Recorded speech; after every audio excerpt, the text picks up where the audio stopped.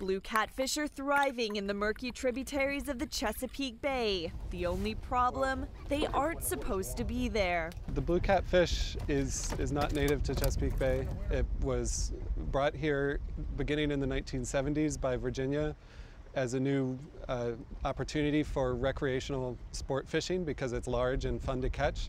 Smithsonian scientists and several other groups have been tackling the problem. With few natural predators, blue catfish have overwhelmed the bay's ecosystem, threatening native species including the ever popular blue crabs. Besides pollution, this would be the biggest environmental threat I think the Chesapeake Bay faces. One solution, a Maryland based supplier is turning the threat into a tasty offering. It has all the correct buzzwords. It is local, it is rated now by the Blue Ocean Institute, it's sustainable.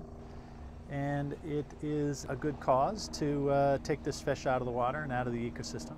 In just one year, Congressional Seafood went from zero to purchasing about 20,000 pounds of wild blue catfish a week, netting another source of revenue for small, independent fishermen. The company says that's only a drop in the bucket.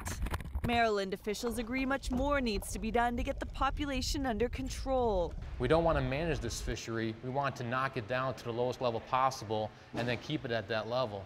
So far, supermarket chain Whole Foods and local restaurants have gotten hooked on the fish. Chefs say the wild catfish has a firmer, flaky texture and can be pan seared instead of fried. It's exciting. The flavor is, is, is awesome.